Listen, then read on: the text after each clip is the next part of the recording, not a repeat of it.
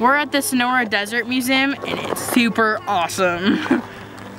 The Arizona Sonora Desert Museum is not your typical zoo or aquarium or botanical garden or natural history museum or art gallery. Well, you get the idea. It's definitely unique.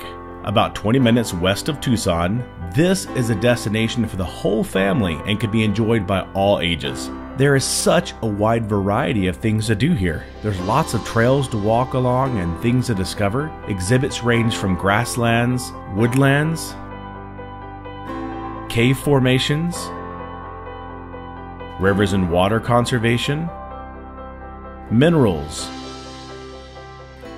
exhibits on the Arizona desert, dinosaurs,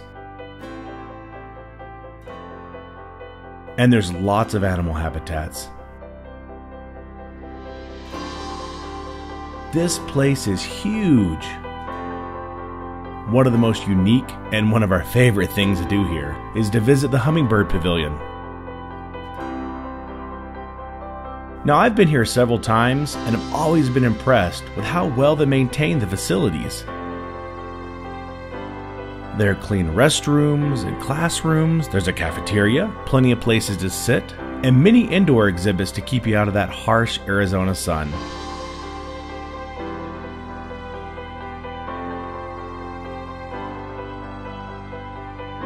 When you visit, please remember to cover up and bring sunscreen. And on really hot days, bring a water bottle with you.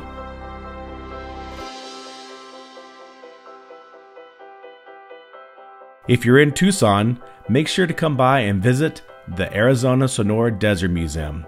This is one of our all time favorites.